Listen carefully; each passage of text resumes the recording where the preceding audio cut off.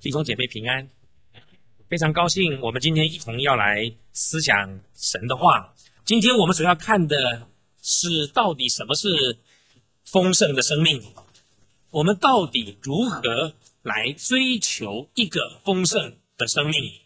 二十世纪八零年代，最晚到九零年代，就有一个非常新兴的追求。虽然以前不是没有这种追求。可是，在近一二十年来，一直有一个呼声，一直有一个很大家都去追求的东西，或者说要追求丰盛的生命。到底什么是丰盛的生命呢？到底什么是丰盛、丰富又荣耀的生命呢？有的人认为有美好的容貌、姣好的身材就会有丰盛的生命，也有人认为是身体健康、精神饱满。就是丰盛的生命。有人认为赚钱赚的很多，就是丰盛的生命；有的人认为地位高、权力大，才能够享受丰盛的生命。我想每一个人在定义什么是丰富的生命，有他自己的标准。我们竟然发现近几年来，年轻的一代有人真的有人，他认为把电动玩具打得非常的好，打到可以去比赛。打到可以出国去，打到可以得名次，得了奖就有丰盛的生命。也有人成为追星族，你们知道什么追星族吗？不是星象家哦，是追星族。他们成为某大明星的粉丝。我起初听以为是新族来的粉丝，后来才知道原来是英文翻译过来的粉丝。他就拥有了丰富的生命。你说真的有人这样吗？可能你不是。可能你也有你自己对丰盛生命的诠释。我们还发现很多人最近突然，以前就有，最近突然大家就敢讲了，讲什么呢？说他拥有名牌就是丰富的生命。有人从头到脚都是名牌，从里到外都是名牌。他用名牌的服饰，他用名牌的鞋子，他用名牌的装饰品，他认为这就是丰盛生命的表现。你说我们怎么知道这些呢？怎么会有人有这些呢？我们想起来不可思议，那真的是，那为什么呢？因为你们报章杂志、从电视，哎，从这个媒体，你看到越多的广告在哪一方面，就是越多有人认为这一件可以带他满足，带给他满足，带给他自信，带给他笃定。甚至我们从网络上面看到很多的网站，我们从电子邮件当中收到许多的广告，告诉我们怎么样让我们生命更好。怎么样让我们生命更满足？怎么样让我们拥有丰盛的生命？主张身材姣好、容貌美丽的，就拥有丰盛生命的。你可以看到各种的广告，可以帮助你拥有丰富的生命。现在整形已经可以指定整成什么人的样子，真的，他要整怎么样的鼻子，整怎么样的额头。连嘴唇要多宽多窄都可以指定。啊，最近我看到啊，这个电视上说有一个人就拿了照片，说我整成这个样子的，就整了相似度到百分之八十，叫做丑小鸭变成天鹅，就有这种事情。他认为这样他就满足，他觉得这样就好，他觉得真的是我这样就变得很有自信。那记者在采访他说：“所以你现在比以前更高兴吗？”他说：“当然。”他说：“你现在比以前更笃定吗？”他当然。他说：“你现在比以前更充实吗？”当然。他只要容貌变了，他就觉得有满足，他就觉得有丰富的生命了。而且现在减肥可以瘦哪里减哪里，胖哪胖哪里减哪里，瘦哪里增哪里，那真是厉害。那有的人因为他这样才能得到丰富的生命，他就去追求这些东西。你不一定是这样，但是我告诉你，有人就是这样。他有了自信心，他觉得生活变得美好了。有人认为身体健康就是丰富的生命，有你怎么知道呢？因为有多少的媒体告诉我们吃这个身体健康，吃那个身体健康，有各种保健的产品，有各种运动的器材，我们就知道有这种想法的人不在少数。我们实在不知道为什么有些人会真正认为丰盛生命就这么简单，身材好、身体健康、有钱或拥有什么。这就是丰盛的生命。当然，有些人说我没那么熟悉，我没那么现实，我不是看现在的，我也不是看外表的。我认为拥有精神生活的丰富才是丰盛生命的保证。或者心理学告诉我们，最高就是自我实现、自我完全的实现，也不是为了我自己啊。我自我实现可能是为了别人啊。那么我就拥有丰盛的生命。那到底丰盛生命的意义是什么呢？到底什么样的丰盛的生命呢？我想，我们绝大多数的人大概都能够接受丰盛的生命。追求绝对不是自私自利的，绝对不是自己的。如果有一个人，他认为他享有的丰盛的生命，可是他的所行所为都是损人利己，那么我从旁观者的角度，我们从客观的角度，我们不认为他拥有丰盛的生命。等一下我会讲，等一下我会看，甚至他主观的思想上面，他其实是暂时的以麻痹的方式来说服自己，说我拥有这些东西。久而久之，他就会发现那些。不是丰盛生命的本质，那只是物质多的生命，那只是掌声多的生命，那只是使人更多的看到它的存在的生命，那并不代表它有丰盛的生命。那么，什么才是真正丰盛的生命呢？亲爱的弟兄姐妹，我想啊，我们如果安静下来，如果我们有一点点时间，不是在这边几分钟的时间让你想。而是你花一点比较长的时间，而且你真正做过一些比较，我想大家都能够接受，大家比较能同意的，就是一个丰盛的生命应该是一个有爱的生命。或许我突然讲你不能接受，或许我突然讲不可以是这样吗？那你想想看，你想想看，到底什么是让我们真正丰富的？什么是让我们丰富不只是这一时的？而是能够长一点点的，不只是长一点点的，是能够长更长一点点的。是不是到我们年纪老迈的时候？是不是到我们身体衰败的时候？我们觉得什么是丰富的生命呢？我告诉你，美好的容貌、健康的身体，如果是丰盛的生命，那有一天我们全部都会失去吗？有人越老越健康吗？没有，那是因为你不够老。你够老了，你就知道没有健康的，不可能有健康的，没有一个人可以有健康到永远的。所以一定有一个东西是可以存在比较久的，或者是久一点点的。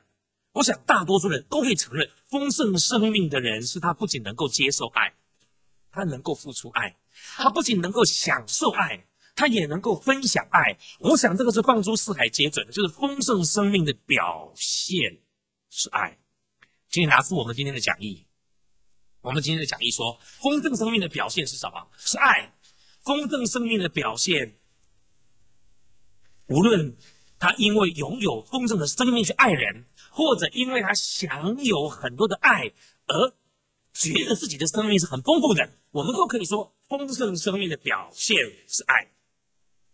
许多年前流行一本书，现在还在流行，还有年轻人在看。你知道哈，以前我们看的书哈，我就是我我我或者我以前更早的年代那种书哈，都可以一看再看，而且有些人是很多书大家都流行的。现在流行书哈，能够。流行五年就很了不起了，啊！你说摆在书架上面五年还有人看就很了不起了。除了古典的书之外，现在的书能够摆在那边看了两两两三个 generation，我们说啊有人在看，就很了不起了。有一本书现在大学生还在看，因为我问过他们了。很多年前的书了，就是最后十四最后十四堂星期二的课，有没有人看过？有没有看过？有看到不少人看过哈，那个是描写到底什么才是人生追求的，人生到底追求的是什么？可这不是一本奇妙的书啊，它是一本一般的书。他提到一个观念，他说什么？其实一个人生命最重要的就是去爱人，以及享受或接受爱。他说是一件事或者是两件事，就是爱。要么你说是爱，要么你说是爱人或者被爱。一个有丰盛生命的人，他会去爱人的。我再说一遍，一个有丰富生命的人，他会去爱人，他会去爱惜物质，他会爱惜自己。一个有丰盛生命的人，他会去爱人，他会爱自己，他会爱惜爱惜东西，因为你会接受爱。中国古圣先贤也说啊，他说什么？他们也不要把爱，他们说人民而爱物。所以事实上，不仅丰盛生命的结果是爱。而且，爱是丰盛生命的源头，源头。那今天我们要从一段圣经来看，丰盛的生命爱是如何的得着，我们怎么样可以享受生命？到底我们怎么样可以得到丰盛的生命呢？或者我们说，爱是如何的成为丰盛生命的表现呢？请我们打开讲义的背后，《路加福音》十九章一到十节。第一节，弟兄请。耶稣信的耶利哥正经过的时候，有一个人名叫撒该，做税吏长，是个财主。只因人多，他的身量又矮，所以不得看见。爬上桑树要看耶稣，因为耶稣必从那里经过。耶稣到了那里，抬头一看，对他说：“撒该，快下来！今天我必住在你家里。”他就急忙下来，欢欢喜喜地接待耶稣。众人看见，都私下议论说：“他进到罪人家里去住宿。”撒该站着对你说：“主啊，一半给穷人，我若讹诈了谁，就还他四倍。”耶稣说：“今天救恩到了这家，因为他也是亚伯拉罕的子孙。人死来会要寻找拯救失丧的人。”圣经在这边提到一个人名叫撒该，是一个税吏长。他也是一个财警，他是财警，在当时统治巴勒斯坦的是罗马帝国。罗马帝国在收税的事情上面是采包税制，如果不是罗马人从罗马人的地方，是外族的人，他们收税有一种方法，就是包给当地所在的人来帮忙收税，因为这样可以避免造成很多的困难。他们在每一个地区都有一个人帮忙收税，那。沙该应该是耶利哥城的税吏长，就是耶利哥城是他把税从政府承揽过来，然后他把总数交给罗马政府。因为这个缘故，中间过一手，他就有偷的机会，他就有偷的机会。那么在当中呢，他可以用自己的标准或者巧立名目，他就会去讹诈别人。撒该就是这样的一个税吏长。我们刚才说，他很可能就是耶利哥城的税吏长。因为这个缘故，他可以说是耶利哥城最有钱的人。那因为他有机会去讹诈别人，借着收税的名义，他就拿了很多不该拿的钱。从这段圣经我们来看，是不是一个有钱的人？是不是这一个有钱的人撒该，他就是一个生命丰富的人呢？是不是？如果你看你就知道不是的，他很可能有丰富的物质。他也一定位高权重，因为他看谁不顺眼，有的人教不出来，他可以展言展言，对不对？可是如果看你不顺眼，就不能演，你非现在教不可，不然我就查封，不然我就拍卖。所以他可以下决定，他也很可能因为有钱，大家都怕他，他的权力大，大家都没有办法跟他抵抗。他也很可能因为有钱，他可以有更多丰富的精神生活。对不对？因为你买不起的东西，他买得起；你买不起的东西，在图书馆看的东西，他可以买到家里去看。你就知道他比别人有更有机会享有更丰富的丰富生活。但是他并不是一个丰富生命的人，为什么？因为从这段圣经你就发现他没有什么啊，没有什么，没有朋友，他没有朋友。他是一个穷的人，他没有朋友，他只有敌人。罗马人当然不能把他当成朋友，他只是罗马人收费的工具。那犹太人更不能不愿意做他的朋友。谁愿意做他的朋友呢？因为我们以前就叫汉奸，对不对？他们叫什么呢？犹奸。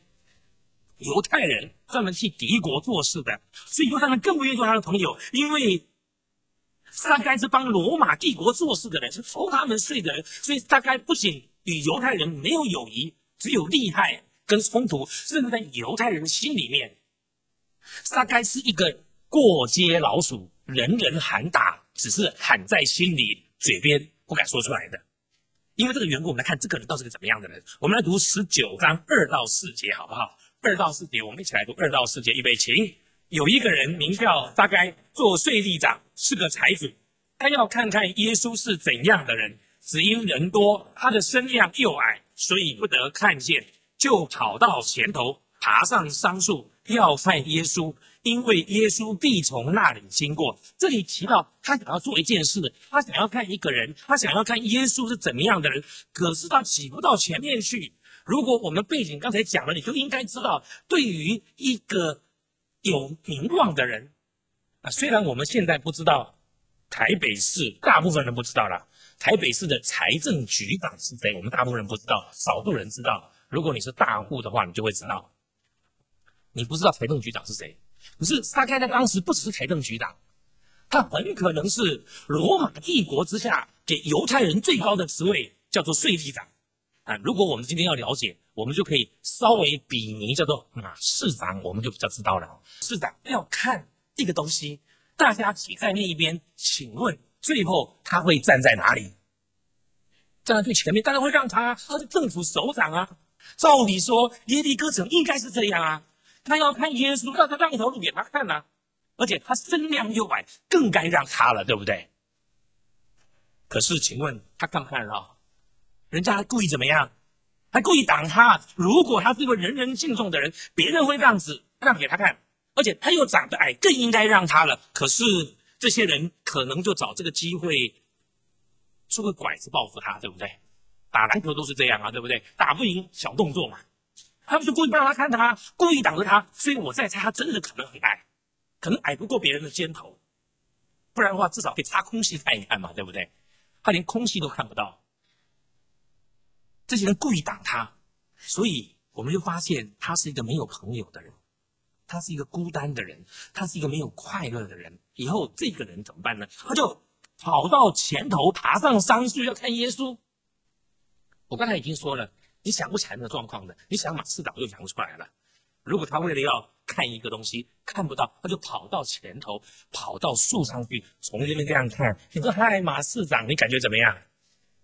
怎么会这样呢？这个人怎么会这样呢？一个人到这个地步，没有人愿意做他的朋友。他为了要做一件事情，必须独立完成。我们就实在知道，他是个孤单的人，他内心有很大的压力。”没有人愿意做他的朋友。我相信，如果我们人际关系不好的话，会非常了解沙盖，对不对？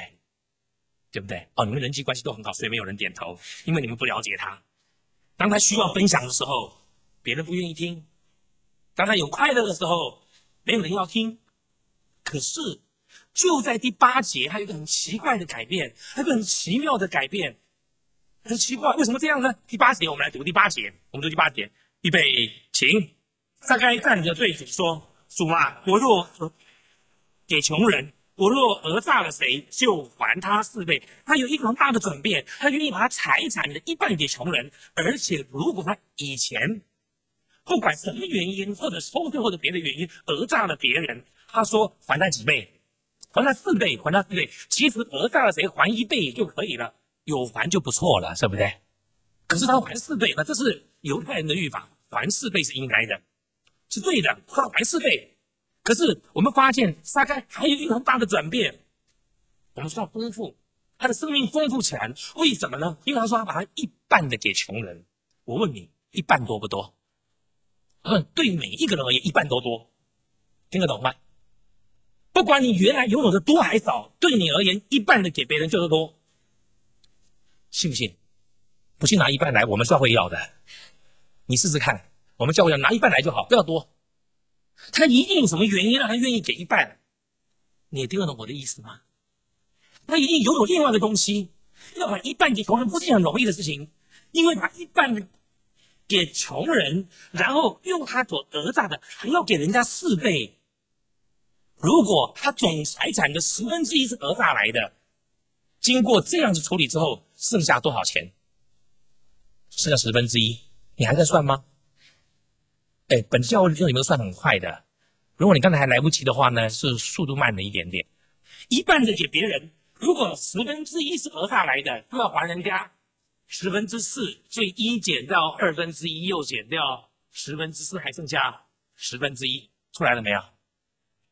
所以我觉得这个人也不够坏，知道吗？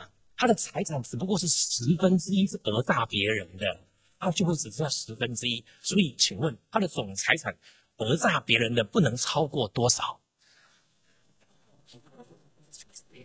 你们数学不好，算一算，赶快啊！百分之十二点五嘛，百分之十二点五的四倍就是百分之五十，对不对？一半给穷人，再把百分之十二点五的四倍给穷人，他就一毛不剩嘛。哎，亲爱的弟兄姐妹，所以这个人好像没有我想象那么坏，对不对？他只不过是十分之一。我跟你举例啊，可能比十分之一还少。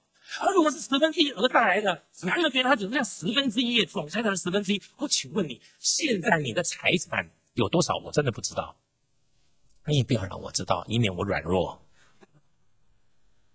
可是你把你给一半给穷人，再把十分之四给别人，你剩下十分之一，你觉得呢？当我在思想的时候，我就发现一定有什么事情临到呀，哎，这个撒该呢？一定什么事情临到撒该了？他为什么？不再看重物质上的财富呢？如果他里面不是使他满足的，过去这些日子以来，他所依赖拥有丰富生命的财物，他怎么可能给别人呢？他为什么可以这样子爱人呢？他为什么愿意牺牲他的财物分享给别人呢？到底这个丰盛生命的来源是什么？从这一段生圣经，我们要来看丰盛生命从哪里来的。第一，从这段圣经我们看到，第一，丰盛生命的表现。请你拿出笔来，写下来。丰盛生命的表现，爱是从学习而来的，全写下来。从这段圣经说，丰盛生命的表现，爱是从哪里来的呢？如果我们问爱是从哪里来的呢？我想我们绝大多数的人都会很有把握的，除非你现在没有感觉到爱，除非你没有经历过爱，所以你你不知道爱从哪里来的。其实我们都知道，爱是从爱来的。我再讲一遍。爱是从爱来的，是什么意思呢？意思就是说，爱是从学习而来的，爱是从感染而来的，爱是从感动而来的，爱是从感受而来的，爱必须体会来的。人类在成长的过程当中，学习是非常重要的一件事情。我们可以说，学习是人类成长成熟最重要的一个原因。人类成长成熟最重要的原因就是学习。我们有句俗话说：“近朱者。”静默者，你们不能对讲员有不公平的待遇。有的人上一句，你们就会回答下一句，对不对？要公平哈，这才有爱，对不对？你不能爱那些可爱的，对不对？不可爱的里面也要爱一下下。为什么近朱者赤？为什么近墨者黑呢？为什么会赤？为什么会黑呢？是因为学习，是因为感染。撒开本来是一个不会爱的人，否则他不会做税利长的。做税利长要狠，做税利长要知道怎么样拿到他要拿到的，因为他要交税呀，他要交税呀。他做了税利长之后，就摆明了他只有损人，他不一定利己啊，他也可能利己。等他做了几年税吏长，我们就相信他更不喜欢别人了，因为有的人就是不交税，有的人就是找麻烦，他更不会爱人了。久而久之，他看钱比人更重要，对不对？我问你，人重要，钱重要？真的，我再问你一遍，请问人重要，钱重要？大声一点，你们记得啊。所以有的人没有钱的时候，你要帮忙哦，因为你说人比钱重要嘛，哈。对，别人也不会喜欢他，别人也不会爱他，他从人身上挖钱、榨钱。所以我们从第三节看得很清楚，第三节他实在是一个别人不喜欢的人，大家都大家都认得他，但是大家都讨厌他。在这边我们可以发现，他一定有自卑感。当一个人察觉别人都不喜欢他，或绝大多数人都讨厌他的时候，他就会有自卑感。同意不同意？你有这种经验，最好不要有，对不对？大家都讨厌你，大家都不喜欢你，走到那边，大家都不看你，你讲话大家就是敷衍你，你会不会有感觉？我告诉你，撒开就是这样。他虽然拥有财富，他也很有钱，可是他没有朋友。亲爱的弟兄姐妹，别人不喜欢你，你不会不知道的。别人讨厌你，你不会不知道的。每个都很敏感，没有一个人粗枝大叶到别人不喜欢他不知道的。没有，没有这种人的。有人口都说喜欢你，其实他不喜欢你，你也会知道的。你可以从他的肢体语言，从他的表情，你看得出他并不喜欢你。你感觉怎么样？感觉很难过的。别人不喜欢你，感觉很难过，那种孤单的。像这样子的一个人，撒该是一一下子怎么可能转变过来呢？如果我们读这段圣经，我们就发现他的改变。他丰盛生命的得着是有原因的。我们这边说第一个原因是他学习来的。他为什么这样讲呢？我们读第五节，第五节，我们的第五节，第五节读完了，读第七节、第八节，第五节、第七节、第八节，第五节，请耶稣到了那里，抬头一看，对他说：“撒该，快下来！今天我必住在你家里。”七节，众人看见，就私下议论说：“他进到罪人家里去住宿，撒该站着对主说：“主啊，我把所有的一半给穷人，就还他四倍。”我们现在来还原现场，那天到底怎么搞的呢？原来那天他爬到桑树上面去，他爬在树上，耶稣从那边经过的时候，就说：“撒该，快下来，今天我要住到你家里去。”后来耶稣就真的去住了，真的去住了。住了之后，第七节。第六节说他就接待耶稣了嘛，对不对？第七节众人看见就私下议论说他进到罪人家里去住宿。这一节到底是耶稣跟他走的时候人家讲的话，还是耶稣第二天从他家里住完了之后出来的时候人家讲的话？我们不是很清楚。不过第八节撒该站着对主说：“主啊，我把所有的一半给穷人，我若讹诈了谁，就还他四倍。”是第二天的事。是第二天的事情，不是当天的事情。至于七节是跟着八节，还是七节是跟着六节，我们不是很清楚。但是耶稣在撒该家里过了一夜，过了一夜，过了一夜。他说什么呢？他说：“我把一半穷人，我的我的一半给穷人。我若讹诈了谁，就还他四倍。”撒该一定没有想到耶稣会选上他，到他家里去住宿。撒该没有想到，绝对不是因为他家里，他知道。绝对不是他家是耶利哥城最棒的房子，所以耶稣去住，他不会这样认为的，他不会这样认为的。在这里，也不是因为他的家最漂亮，所以耶稣选择去。耶稣不是这样子的人，撒该也不会这样相信的。是耶稣接纳他，是耶稣爱他，耶稣不以他是一个令人讨厌的人而不理他。对撒该而言，他清楚知道这件事情，为什么呢？因为自从他当了税吏长之后，他就越来越没有朋友。他就越来越失去朋友，他是卖国贼，可能一开始到现在就没有人愿意跟他来往。那不要说到他家里去了，他走过来，人家都故意闪开。那当时税吏长是这样的一个状况的，可是耶稣爱他，从来没有人住过他家。可能他修建了一个非常漂亮的房子，没有人愿意去。他说：“你们来吧，你们来吧。”人家不愿意去。哎，你喜欢去一个令你讨厌的人家里吗？我想没有人吧。没有人，没有人愿意去的。可是耶稣爱他，使他有温暖，使他感觉到爱的可贵，使他感受到爱的重要。爱是很奇妙的东西，爱，爱是可以感染的，爱是可以学习来的，爱是可以看来的，爱是可以听来的，爱是可以感觉到的。爱不是理论，所以说我爱你这句话本身没有意义的。他除非随伴着其他的。行动，或者是肢体语言，或者是眼神，或者是其他，这句话才有意义。所以爱不是学理论的，不是有理论知道什么叫爱，他就会爱，没有这种事情的。因为只有体会到爱，才知道什么叫爱。我以前在学校教书的时候，第一学期啊，他都是一年的课啊，第一学期的期中考结束，我每次改完了，我就会把那个。不及格的同学的姓名跟座号抄起来，那么再去上课的时候呢，我就会利用下课的时候就去跟这几个哈个别的跟他们几个聊聊一聊，聊一聊。那么因为我教的是法律，所以他只要概念不是很清楚，或者逻辑在考试当中出了一点点错，那他很可能就会考得不好，考得不好。那么在我五年的教书生涯当中呢，我不知道约谈过多少个学生。就是他第一次期中考没有考好的学生，大部分的学生，我跟他谈的时候呢，我就告诉哎，我比如我说，哎某某某，我说哎黄一鸣，说跟你聊聊好不好？他说好。黄一鸣也常常不及格，所以举他的名字也不为过。嗯，黄一鸣，啊，你说好，我们在外面聊聊天，我们就边走边聊，我就跟我的学生聊一聊。大部分的学生都不愿意跟我讲话，不想回答我的问题，因为他知道考得不好，考得不好，他不想面对他不及格的事情。我为什么找他们呢？我其实不想骂他们。不想骂他们，我很想知道他为什么考不及格。我为什么想知道呢？因为我在想，如果他在法律上面不及格，他的其他方面也很容易不及格，因为他是一个思考的流程，这个思考流程。而且我很喜欢教书，我很爱教，我很爱教，而且我也不是我自己说啦，我自己也这种感觉啦。别人说我教的很好，真的真的，别人说我教的很好。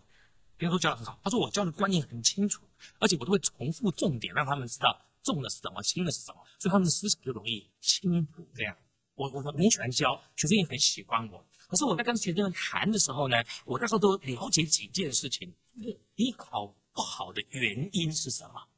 原因是什么？我一点都没有骂他的意思，因为我知道学生考不好一定有原因的，一定有原因的。那这原因是不用功还是怎么？那那那那个那个以后的事情，任何原因的，是因为你没有时间读书，你必须去打工，还是因为你不喜欢这个科目，还是你不喜欢这个老师？请问不喜欢这个老师会考不好，对不对？当然嘛，你不喜欢这个老师当然考不好嘛。你不喜欢听他讲，你就会听不进去嘛，这很正常的现象，很正常现象。是不是你家里有什么状况，你没办法专心读书，是不是这样？我常常问他们这个东西，还是有什么特别的理由？特殊的理由？大部分的学生在跟我谈到一半的时候，他们就很惊讶，他们发觉我没有骂他们，因为我自己的观念，我自己做老师的观念，我觉得学生考不好，百分之八十是老师的责任，学生大概只分百百分之二十，因为引起兴趣是你的责任，给予足够的资料是你的责任，引导他们去看到那个好玩事情是你的责任，方法告诉他是你的责任，学生只说我到底要不用功而已嘛。那么，如果你又会鼓励他，那不是就就大部分都能做了吗？所以我就利用第一次他考不好，我就去跟他们聊一聊。我不是要骂他们，我也无意让他们下次考好。我只要知道为什么，因为问题在他的身上，如果不在我身上，不在我身上，我可以调整；如果在他的身上，如果我可以稍微引导他，那他不就很开心吗？而且问题不在这个科目，而且问题是你学习的过程。所以我常常这样做。我常常问他们说，有没有什么我可以帮忙的地方？那。因为这个缘故，几乎没有一个学生在第二次考试还考不及格的，几乎没有。因为第二次是期末考了，第二次期末考了，第二次期末考如果考不及格，如果第一次不及格，期中考不及格，期末考不及格就当掉了，当掉了，下一个学期就党修多一年，就多一年，因为他们必修的一年的一年的法律，一党就一年，所以第一个学期就就过了，很多都是都都是这样子，因为他们感觉到被尊重，他们感觉到被关心，他们感觉到他有讲话的机会。真的有学生很不高兴，跟我说：“说这学这个干什么呢？一点意义都没有。我是从商的，我为什么要学法律呢？”我就跟他说：“就是因为你从商，你才要学法律啊！你从别的都还好啊，你从商，你应该学法律啊！你被别人骗了。所以我到很多年之后，我就他就让我学生，或者是他他学生打电话跟我说：说我的谁谁谁帮人家签了一张本票。很多人不知道，本票是可以随每一个人都可以开本票的，每一个人可以随便写就变成本票的，就变成本票了。”你们有没有吓到啊？你们有没有被人家骗过？所以你不知道，本票随便开的，你随便写都变成本票。我就跟他说很重要。他们觉得他没有表达的机会，他们体会到爱。有一个学生是印象最深刻的，他的父亲是更大的教授，他的父亲是更大的教授，他考得非常差，第一次期中考，为什么呢？他从头都在睡觉嘛，他上课就在睡觉，不然就在看漫画书。大学生哎，不是在睡觉就在看漫画书，我觉得很奇怪。那我当然不好意思，第一次、第二次就问他，还没期中考，我就问别的同学说：“我说那同学怎么搞的？”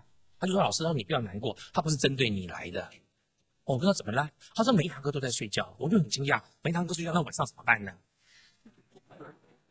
对不对？那我要怎么办呢？那后来我就同学跟我说：“老师，你不要管他。”他说很多老师。都没有办法，他现在已经三年级了，大部分老师都放弃了。他说现在已经没有人要理他。后来他第一次考试当然不及格，他第一次考试不及格之后，那天下课我就过去找他，我说我跟你聊聊。他说聊什么？我说没什么事情，我说我就是了解一下你的背景。他说没什么好知道的，他说没什么好知道的。后来我就跟他说，我说走走嘛，聊聊嘛。他就因为没没办法，老师啊，他跟着我走，走走走。后来跟他聊天的时候，他很不以为然，不以为然什么？不以为然老师。他跟我说：“他说老师都是一样的。他说老师都是外表是一个样，里面是一个样。我后来我跟他说，不只是老师这样子，大部分人都外表一个样，里面一个样，对不对？你们都不敢点头啊？啊，你们外表跟里面都一样啊？真的啊？那你们教会真好，把你们教的真好。谈完以后，他跟我说什么？他说你少来这一套。他跟我说，他说你少来这一套。他说我爸爸也是老师。”我心想，可能就是因为他爸爸是老师，所以他有这种观念，因为他没有体会到爱，他不知道什么叫做爱，他不知道什么叫做得着，他也看不到他爸爸的付出。我不知道是不是他爸爸，我这样讲有点冤枉他，不一定。不过他跟我说，老师都是这个样子的。一周一周的过去，他就慢慢的发现，我的确是真的关心他，我真的觉得说怎么会这样？一个教授的女儿，怎么会变成这样？后来我就慢慢慢慢，后月一开始上课，期末考考得非常好，我很惊讶，他考得很好，我就心想说，哇，最后两个礼拜他开窍了，哇，读书了。他上课还是吊儿郎当的样子，可是我偶尔会听听，偶尔会这样子。哦，我后来知道，他们跟我说，他后来就是去借的笔记，也期末考好好的念，好好的念。最后一天上课的时候，最后一天上课的时候，他跑来告诉我说：“他说老师谢谢你，他说你让我知道什么叫做爱。我其实那个时候并不知道什么叫做爱。我的意思是说，我只是想做这件事情，我不知道那个叫做爱，我只是想关心他。他不仅知道爱，他也感染到爱。我发现那一个学期，从学期开始到学期末，他有很大的转变。他们同学都跟我说，现在我说老师不得了，很奇怪。”他说：“他这一学期到学期末的时候，每一个老师的课他都听了。我不知道为什么，我不知道为什么。当然事后知道为什么。到学期末的时候，其实大家都很讨厌他。本来后来他跟很多人成为好朋友，因为他有爱。爱从哪里来的？爱是从学习来的，爱是从感染来的，爱是看来的，爱是感觉出来的。那天耶稣没有因为撒开。”是个税吏长，就讨厌他。虽然大家都讨厌他，其实像撒该这样子的人更渴望有人爱他，对不对？我后来我就发现一件事情：那个越没有人爱的，越渴望有人爱他。可是问题是，为什么没有人爱他呢？因为他不可爱嘛。所以我们就去爱可爱的人，所以不可爱的人就越来越不可爱，因为他越没有人爱他，他就越有一个反叛的表现。他越反叛的表现，别人越不爱他，恶性循环，所以就没有了。我相信撒该更渴望有人爱他。耶稣不怕人家说他，耶稣不怕人家笑他，耶稣不怕人家私下议论他，说说你到罪人家里去住宿。他给撒该一个动力，他给撒该一个榜样，他给撒该爱，所以撒该也不怕别人笑了。在第八节，他公开说。当他听见别人私下议论他，不管是昨天晚上或者是今天早上，别人议论他的时候，他就说：“我把我所有的一半给穷人，我讹诈谁就还他四倍。”爱从哪里来的？爱从感染来的，爱从看来的，爱从体会来的，爱从学习来的。你试试看，爱哪里来？从这里来的。有的人跟我说，他说他爱他付出已经一段很长的时间都没有得到回报，我就跟他说：“再等等。”因为最后一根稻草要来了，等到最后一根稻草来了，他就垮了；等到最后一根稻草来了，你的爱足够了，他就崩溃了，他就投降了，他就接纳了，很辛苦的，很辛苦的。有一个做太太的跑来找我，他就跟我说：“他说我先生有外遇，有外遇。他说我已经对他很多年很好了，我劝他不要在外面这样。”他说：“我跟他是夫妻，我尽量对他好，对他好。可是他就跟我说，一年过去又一点，他现在还是说说你不用对我这个样子，我不会回头的。我就跟他说，挣扎的越厉害，就越在挣扎，对不对？挣扎的越厉害，就表示他现在还在挣扎。我说，再等等，再给他一个机会。爱从哪里来的？爱从爱来的。学习第一，第二，从这段圣经我们看到。”丰盛生命的表现，爱从哪里来呢？是从生命来的，请你写下来，从生命来的。三该丰盛生命是从哪里来的呢？是从生命来的。第九节，第九节，我们一起来读预备情。耶稣说：“今天救恩到了这家，因为他也是亚伯拉罕的子孙。”圣经说，耶稣给他救恩，救恩就是生命，生命就是救恩。那如果你是基督徒，就知道。耶稣给我们救恩，我们就得到生命。意思是耶稣给他生命。在这边，我们看见撒该为什么可以活出丰盛的生命呢？我们刚才说，第一，他是学来的，但是我们也知道，学习不是一夜之间立刻有反应的。我们也知道，学习要有一点点时间的。或许一时的冲动会给我们一些行为立即的表现，可是真正持续的要表现爱的是生命。或许大概在这边说：“我把一半给穷人，讹诈别人还他四倍。”是耶稣那一天跟他在一起的时候，他受耶稣的榜样而改变的。但更有可能的是，因为生命，因为耶稣，因为圣经上说，今天就会临到这家，所以他因为有生命，他是因为有救恩，是因为生命的改变。耶稣说，他就是道路、真理，什么？生命。耶稣就是生命。亲爱的弟兄姐妹，只有生命才带来持续的力量。只有真正有爱的生命，才带来爱的持续。如果没有生命，就没有持续。生命的力量大到超过我们可以想象的。我们从许多的东西可以看到，有生命就有力量。举两个很简单的例子，在河流当中，在河流当中，一个物体不会被水冲走，跟这个物体的重量不见得有必然的关系。一个树叶掉在水里面，它当然是被水冲走，因为水的力量比树叶还重。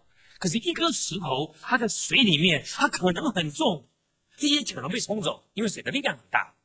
可是，一条鱼它不一定很重，因为它有生命，就会被水冲走。你就会发现，生命的力量非常大，它本身的重量不重，可是它产生很大的力量。所以我发现，生命带来力量。如果我们说丰盛生命的表现是爱，那么什么是持续的爱呢？弟兄姐妹，爱绝对不只是一个学习。爱不是这个榜样，爱必须从生命来。只有有生命，才带来爱的力量，而且只有有生命，才会源源不绝的有爱。那生命的力量很大。从我家到我工作的地方，要常常要经过一排四层楼的公寓。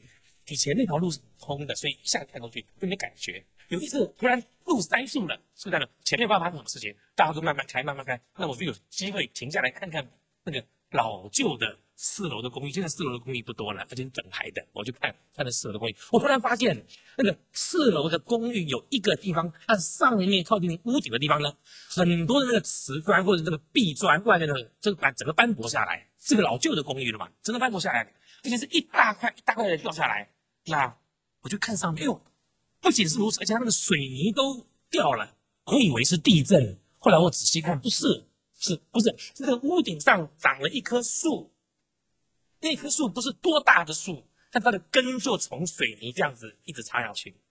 你就发觉一件事情，就发觉一件事情，因为根扎到水泥里面，虽然水泥坚硬，虽然水泥冷酷，但挡不住树的生命，挡不住树的生命，树根就扎到水泥墙里面去，把瓷砖弄破，把水泥一块一块的侵蚀下来。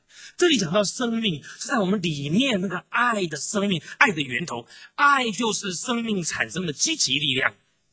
是大概因为有了生命，有了救恩，就愿意爱别人，他愿意爱穷人。他说把财产的一半给穷人。他以前讹诈了谁，他愿意还人家四倍。他也爱自己。如果你看到大概这一段，你会发现他爱自己。为什么爱自己呢？为什么说他会爱自己呢？因为他不愿意再犯罪，他愿意对付罪，他骗别人的钱，他愿意按照律法的规定去还四倍，按照律法的规定去还四倍。过去他不是不知道讹诈别人是不对的，过去他也不是不知道他是别人讨厌的人，他不是不知道他欺负穷人，可是他没有爱的力量。亲爱的弟兄姐妹，爱需要力量的，不是你想爱就爱得出来，对不对？如果不是里面有爱的力量，你爱不出来的。那个不是很简单，说我要爱他，你试试看。有一次我到一个地方去讲到，后来我就问，我就问大家说，说是不是？你当然这只是一个普通名词哈。我就我就跟他说，我说是不是可爱的人大家都爱？他就说对，大家都说对。我说那不可爱的人是不是大家都不容易爱？大家都说嗯对。就有有有一个人就说，他说可是长老要爱可爱的人，也爱不可爱的人。我们一般人是不必这样。为什么呢？为什么呢？我就问他是为什么呢？为什么长老就爱可爱的人，不可爱的人也要爱？嗯，不是长老就可爱的人爱爱，不可爱的人不爱呢？他跟我他回答说，他说他说因为你们是呃服侍神的人，他说那是你们的职分，所以你们一定要这样。我说你规定我也没有用，不是你规定我就有用的，那个需要爱的生命在里面，所以爱。丰盛生命的表现是从生命来的。这里讲到的生命，就在他的里面，他愿意对付自己，他爱自己。我请问你，爱自己容易不容易？啊？容易不容易？起初容易啊，你后来发现，有的时候很不容易啊，很不容易啊，爱自己很不容易啊。爱自己要面对自己的难处，爱自己要面对自己的罪恶，爱自己要肯放下去。做不对的事情，大概就是这样啊。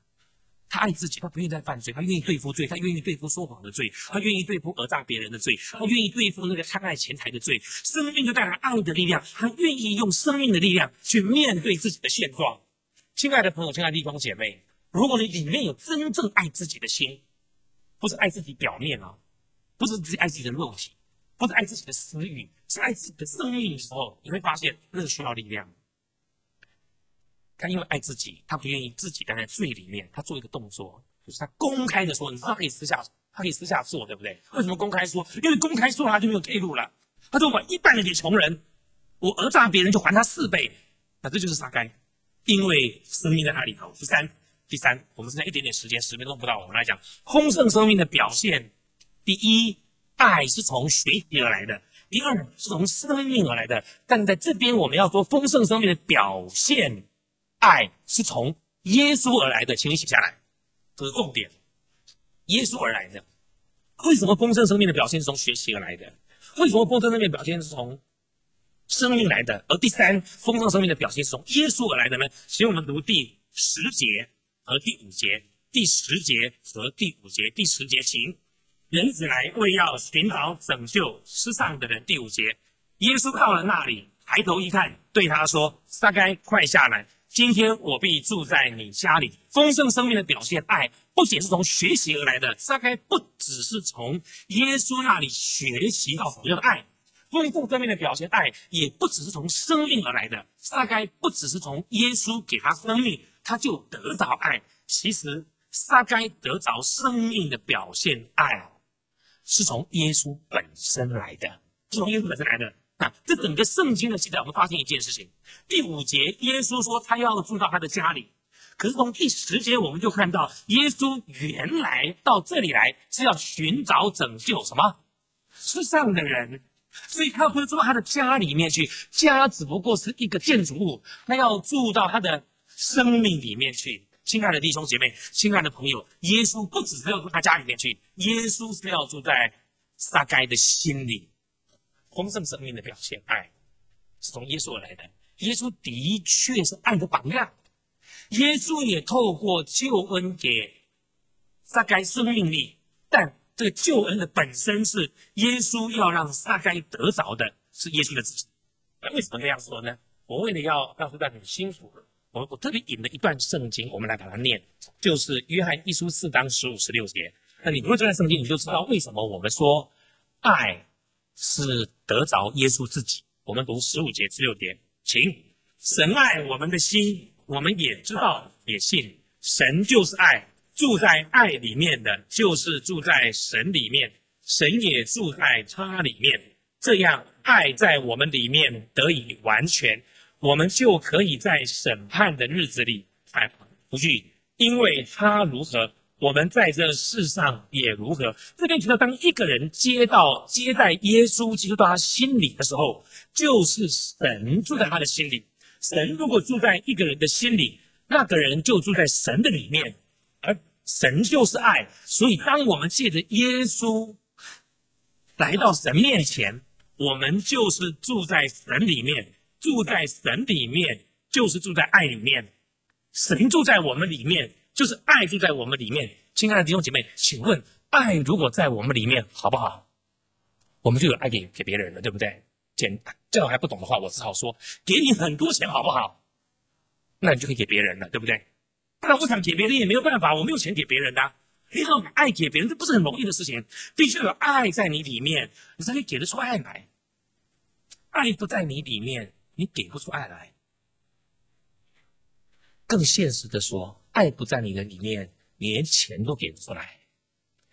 钱给你，你不见得给得出来的，要爱在你里面，才可以把钱给别人。所以，当我们借着耶稣基督来到神面前，我们就是住在爱里面，爱也在我们里面。所以，这边告诉我们说，住在爱里面的，就是住在神里面，神也住在他里面。他该接受了耶稣。他就是接待神在他里面，他也住在神的里面，因为这个缘故，他就有爱的心，源源不断的把爱涌流出来。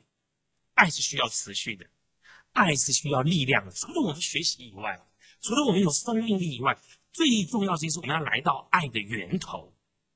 亲爱的弟兄姐妹，我要问你一件事情，我要问弟兄姐妹，你是神的儿女，你已经来到爱的源头了，你已经得着爱的源头了。爱的源头应该在你的里面，你也住在爱的源头的里面。为什么我们还不太能够表现出爱来呢？为什么我们的爱还不够呢？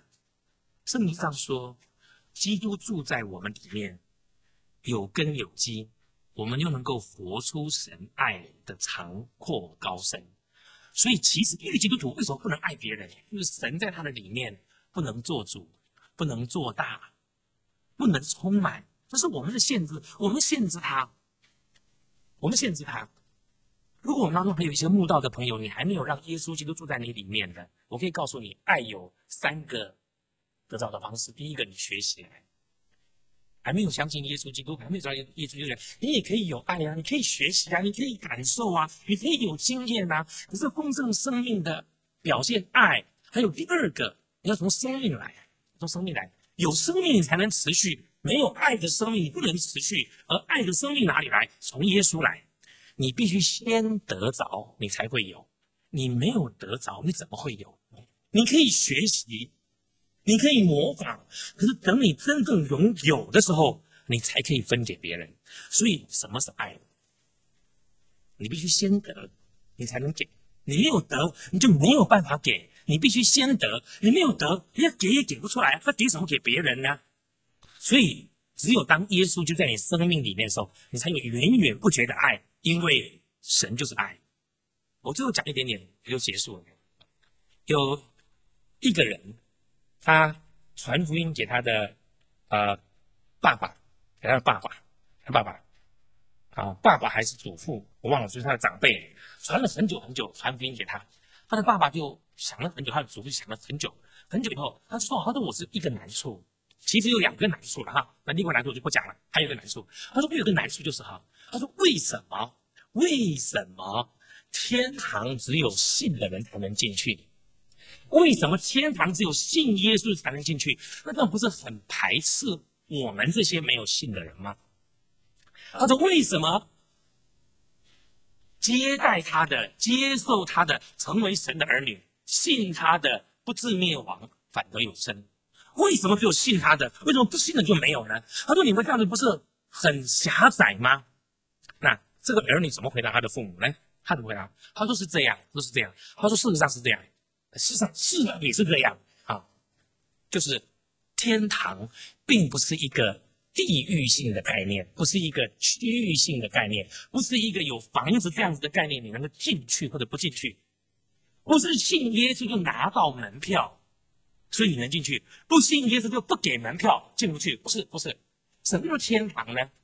什么叫做永生呢？什么叫做不至灭亡反得永生呢？是与神同在，就是天堂；与神同在，就是天堂；与神同在，就是永生。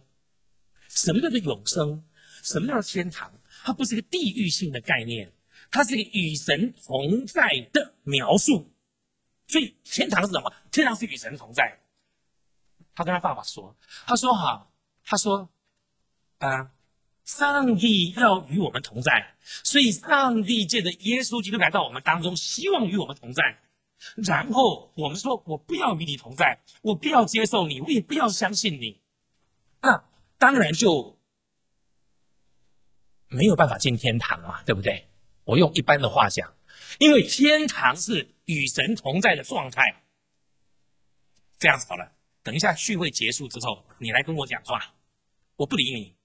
比如说聚会结束之后呢，这冰英姐妹来找我讲话，她说：“李建，我跟你讲一句话，我不讲，对不对？”然后说：“我跟你讲，我不讲。”他说：“我跟你讲一句话，我不跟你讲话。”我事后可不可以跟别人说，说为什么刘碧英不跟我讲话呢？